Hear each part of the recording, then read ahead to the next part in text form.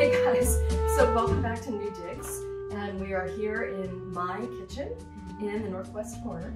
Um, so today we're going to talk about um, creating indoor gardens, terrariums, and these things go through levels of popularity. Um, I know in the 70s it was all the rage, mm -hmm. but like everything from the 70s, um, including fashion, they are coming back. Mm -hmm. And it's just a fun little project to, to do now, and it's something you know that just brightens up your your winter household a little bit. Right. It's you know, and like I said, it's something you can do now that exactly you know, can't be outside. Exactly. And, and there's I think there's sort of a terrarium for for everybody. Yeah.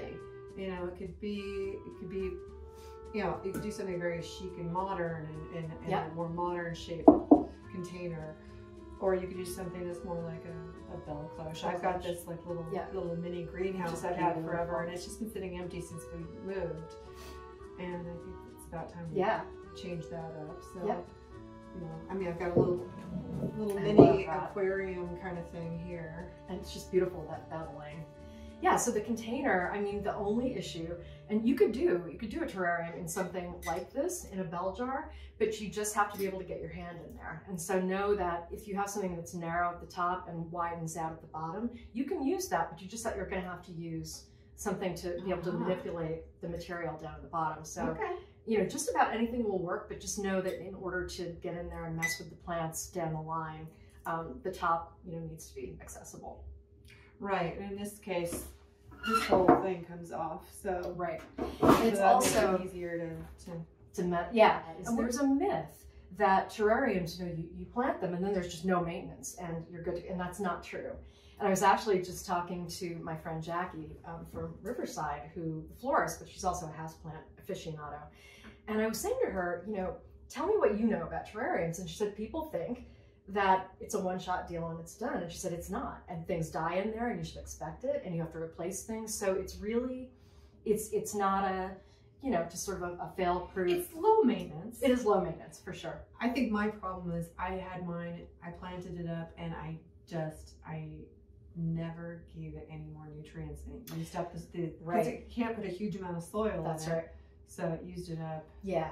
Yeah, that can happen. And it can also be plant selection based. Um, some things okay. don't want that much that much humidity. So for, in a, a, terrarium, we're generally thinking about more jungly, you know, foliage type plants. Mm -hmm. Cacti and succulents don't do great in this situation because it's just too humid and they're going to rot. And you need drainage. And you need drainage. And mo most of these are a no drainage exactly. situation. That, exactly. So these don't have these. This is a closed bowl. Like you, this is a fish bowl. You have water in it. Um, so yes, there's no drainage, and it's basically um, creating a closed system where it's almost like a rainforest, where the the water that you put in oh. is recirculating, and you can actually tell about moisture levels just by looking. We'll talk about this one in a second, because you'll see condensation uh, right. on the inside. And if it's too much condensation, um, you'll be able to tell because the plants will look yellowy. They'll look like they're they're not doing well. Okay. So you know you can kind of monitor it. And basically, you're only going to water these if it's a closed system like this. The more open the top, the more you're going to have to water. Okay. Right.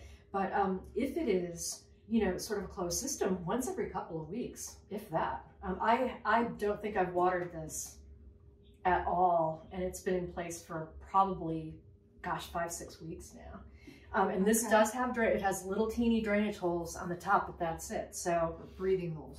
Right, yeah, breathing holes, exactly. Okay. Um, yeah, so we'll get started and I'll show you. So we've talked about some of the containers okay. and we'll talk about kind of plant selection and then laying it out. And what I am bringing to the table today um, is a shout out. This is a shout out to my childhood.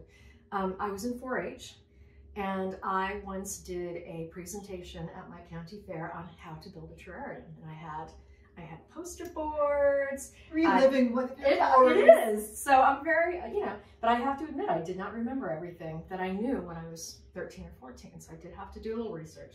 But I, you know, I do bring that depth of knowledge. Right, right. To the table. Well, I'm excited to Glad hear to what you have to say because what I did before was fairly quick and dirty, and I know there's more to it. Not really, but well, I'll show you. So let's start out with a little bit of, of history. And Jill is an incredible buff on 19th century um, design and gardening and all kinds of things. And So when I was doing some research about this, I learned that um, terraria were initially kind of associated with the Victorians. Right. I mean, this especially this type. Right. This this type is it's this is a version of a low budget version of something called a Wardian case. W A R D, named after a guy. Ward. Yes. And he was a Victorian plant collector, and they would go off on these expeditions mm-hmm. to faraway lands, and they he had trouble keeping his plants samples alive on the journey on the back. Journey that back. makes sense, right? So he made these these cases with glass and and wood that would sort of help protect them on the sea voyages back to England.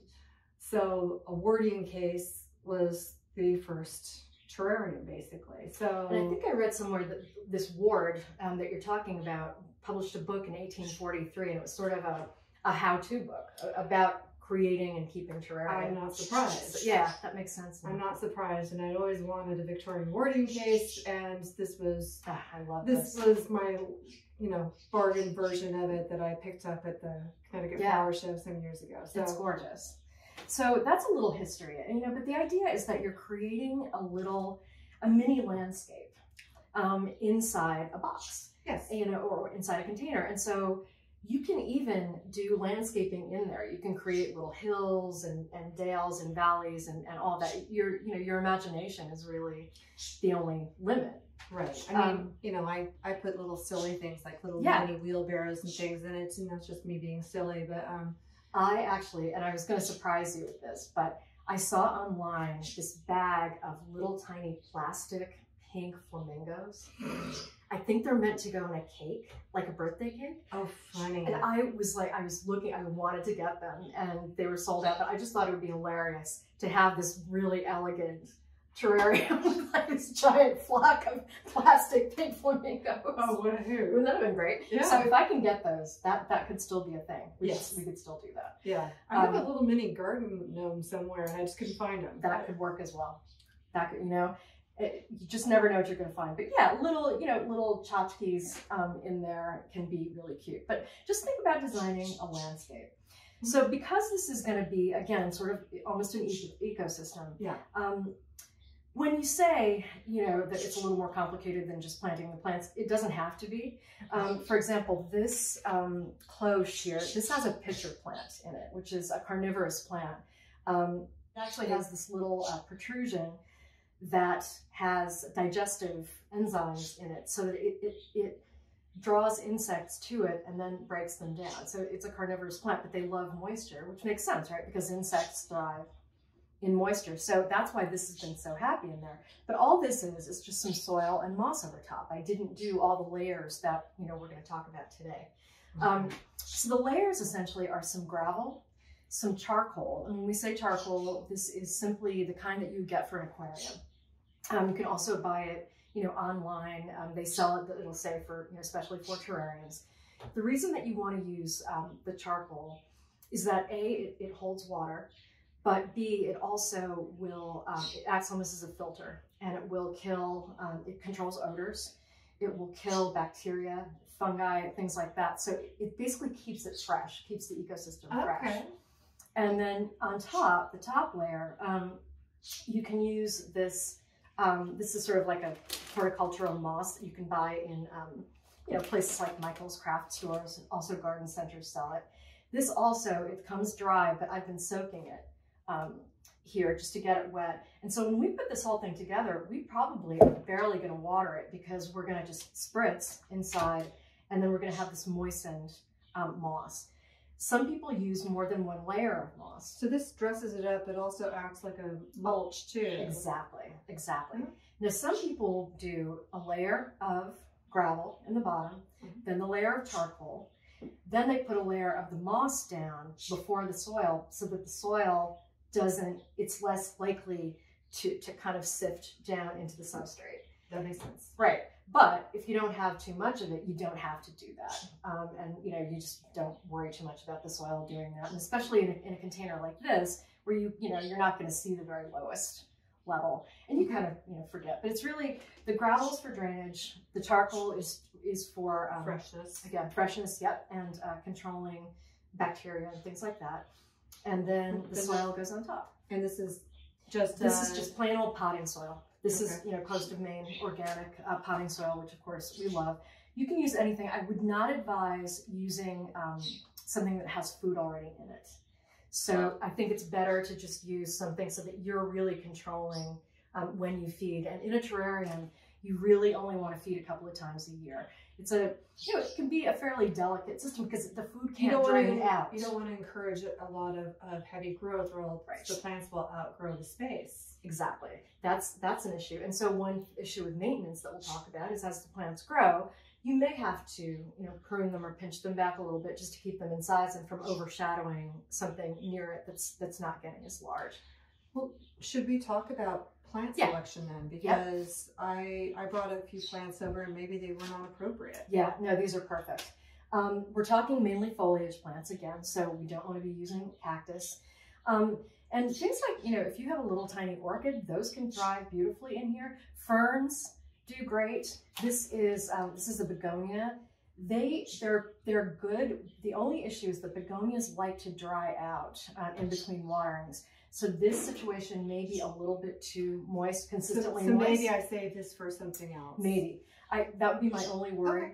um, with it. But here I've got a little sample, and these are. I guess this is a three-inch pot. Um, this little fern is perfect. This is a button fern. That's going to be brilliant. Okay. That's perfect. You can also often find these little two-inch pots, and these are great because. I know. Yeah, this is an Aralia, A-R-A-L-I-A, and it's variegated. You can see how sweet it is. This is another type of fern, and it doesn't look like it. Um, you can see that the leaves are, are much broader, but Usually ferns have much more complex uh, foliage. That's right. But yeah, these are ferns, so that's going to be good. I have two of those. This is a Fittonia, F-I-T-T-O-N-I-A, and look how beautiful Oh, that is that's- with a little red. Jazzy. It is jazzy. Yeah, this might even flower for you in there. Um, this is a peperomia, not to be confused with pepperoni. Um, peperomia. There are a million different peperomia, peperomias, and they're all great. In fact, in my 4-H um, terrarium, I remember having a peperomia. So, but this is a weird looking one to me. This is a fairly waxy leaf, um, but this is going to do great. Oh, they give it a little bit of a tropical feel. Yeah. And I like variegation too. You know, the, the, the fact that it's, the leaf is not one color. Variegation just means it's got some, you know, um, two colors, bicolor. And then finally, um, this is a real, this you would see in a Victorian terrarium 100%. This is, um, I think it's called a parlor, parlor palm. It's a little mini. It's a tiny little palm. yeah. So, but this is gonna, you know, it's gonna get big. And you notice how we have different kinds of foliage. So this one is strappy. This has, the fern has little buttons. This one is coarser. And that texture is something you really wanna go for. Um, again, creating your own little universe in there. Wonderful. Yeah. Well, you rock. I know, I was able to explore a bunch of things. And typically, you know, nurseries will almost always carry these. Sometimes you can even find the little tiny guys in the grocery store. Um, so, you know, if you see them and if something in your terrarium is is not thriving, you know, it's easy to, to pick up another one Wow. to replace it with. I'm excited. Yeah. Okay, right, so so start with go. removing the lid. yes. Removing the lid, step one. Okay, so I'm going to put, this is gravel. You can use fish tank gravel. You can use, you said you had just used like gravel that like from a driveway. I had, I had, yeah, gravel from my drainage Yep. ditch. Just gonna dump it in there. Gravel is in and I've added um, a little bit of this um, fish tank gravel that you brought. And now I'm going to add the charcoal. This is the horticultural charcoal they call it, but like I said, uh, anything you buy in a pet store for fish tanks, perfectly fine. And we're just And gonna how much do you put in that? it, you know, nobody really measures it. I would say equal layers of these two, and they don't have to be super thick. You know, just just a little bit. I just this is a fairly large container, and I didn't have as much. Yeah, we have two inches to play with, but you want to leave some room for the plants and the soil. So Right. So we're just gonna go ahead and, and put the um, put the soil in, and you can tell this is a bag that I have opened um, because it is it is ripped. This is how Yeah, I open it- cookie packages. This, Also. this looks like wild animals draw to it. Okay. which is Um, among my friends, you know, something they know about me, I just I get hangry, I get, and I got to get the cookie package open, and, and apparently I was feeling the same way about the soil. So in it goes. Here's my first question. So is the terrarium going to be seen from one one direction? In other words, usually that's the case, right? Like it'll be sitting on a table and you're looking at it from the front. And the reason I ask that is because you're to put, in that case, taller stuff in the back. Yes, it is going to be seen more from one side than the other because there's a window behind Perfect. that you're putting in. Perfect. Oh, and actually, thank you for bringing that up. As far as light for these things, um, especially with one like yours that's that's pretty well encased, you don't want it in a hot, hot, hot, hot, hot window because it can overheat. Right. So you want it to be, you know, you want lots of indirect, lots, lots bright of light. indirect. That's where it's going to be. Perfect. Okay. Yeah, I mean, if but if you put it like, you know, in a in a really hot sunroom kind of window, you'll see things starting to cook in there. Okay. so we're gonna do this. Put this guy back Do here. So this is the back. first? Yes, it's always a good idea. So you, this is your design project. So I'm gonna let you arrange. Oh goodness. I mean, how big is this going to be? That can get decent size. So I probably would put that in the back. I think that's probably good. Perfect. And you don't. Okay, All right. so we'll start out with plugging the big things out with that. Yep. Yep, so you can stick that in. And with something that size, like the larger um, three inch size, you may have to pull some soil off the bottom. These should be, should You're, be you're better at being brutal. Oh my God, you're right, you're right. I'm, I'm a big coward when it comes to this stuff. She's just, yeah, I just read it. yeah, just ruthless. I know, it's true. And that we are gonna have to add a little more soil around it because it's, it's um, it's a little too tall. And with these, you know, typically because these are little teeny babies, they're not going to be super root bound. They should just pop out. Um, a note though, when you have containers this small, I bought these a few days ago and I've had them sitting in a little um, container uh, of water, or at least I soak them um, every so often because these dry out really, really quickly. So you want to make sure. Over just a little because it's gonna Yeah. Oh, look, there's here. This is great. See how that just fell apart? Oh, So you've got bonus You- three you points got for three, one. That's right. So that can happen, and I love that. So now Oh, we that's can. that's That's nice. better. That's better. And then put your wheelbarrow in there. And it's over here. So now we just fill in with a little Yep. extra soil. Yep, and you do to the extent, you know, just like you would do if you were planting, you want to kind of get these as much um, uh, contact with, you know, the soil as possible. So you do want to kind of push them in. And yep, we'll just grab some more soil. Now I would think this would be enough because Yes. it's you know you gotta- They're going to grow. They're plants. I mean, Exactly. Exactly. All right, and then we'll take our, our um, moss, which as I said, I, I pre-moistened. This was bone dry and I just soaked it in the water and it just soaked it up. This particular one has been, um, it has dye on it. You can also use ones that are, are more natural looking. There's like Spanish moss kinds of things. If you want it, you know, to look a little more natural, this is what I was able to get. But again, the main reason you're using this is almost like a mulch to keep moisture in it, and also just because it's decorative and it looks a little nicer than, than just the soil. There you go. oh wait, and I've got a Oh, your bird bath. I've got a bird bath. I'll put Oh, that's perfect. put it over here Perfect. because I'm insane. I like it. All right, now what are we thinking as far as the um, the moss now? I can't really see it too well. Can you see if it looks like we're pretty well covered? Yeah, it looks pretty good. Okay. And again, you know, you can always, just, we're going to give it all a spritz. And this is just a plain old water. Some people say, you know, you should use distilled water and all that. stuff. I mean, that's, that's way too complicated. So this is really just, you know, the, as the moss is, is retaining a lot of moisture. So that's, that's going to be sufficient for now.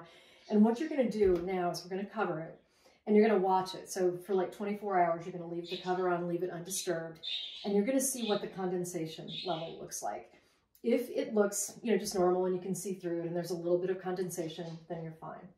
If it looks like it's just raining in there, like it's really, really wet, it shouldn't be because we didn't water this heavily, Right. then you know it's too wet and um, you want to take that lid off. You Might want to prop.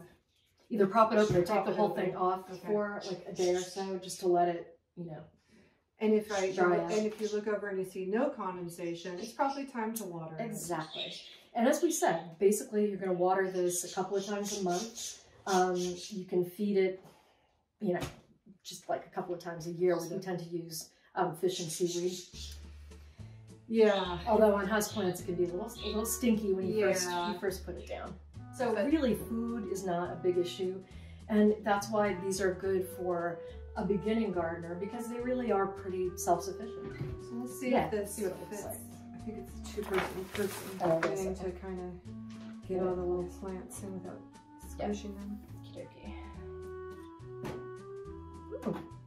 Oh my gosh, that's so cute. Move this out of the way.